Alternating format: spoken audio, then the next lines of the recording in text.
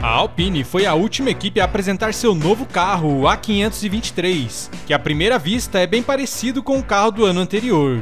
Mas se analisarmos em detalhes, podemos ver várias e várias mudanças no sucessor. Fazendo uma análise, Esteban Ocon, que será um dos que irão pilotar esse carro durante a temporada, fez uma comparação interessante entre o atual e o carro do ano passado, e ele diz: É uma boa evolução em relação ao ano passado. Sou um cara muito mecânico e gosto de observar a fundo como as peças são feitas. E para ser sincero, o carro de 2022 parece um brinquedo em comparação com o que temos agora. Foi um passo de 21 para 22, e agora é um grande passo novamente em 23. Veremos se isso se traduz em desempenho.